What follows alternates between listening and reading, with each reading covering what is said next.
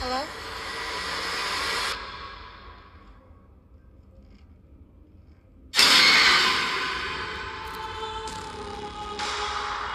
I know God saved me for a reason, but I guess I'm still searching for what that reason is. Too much blood of Christ.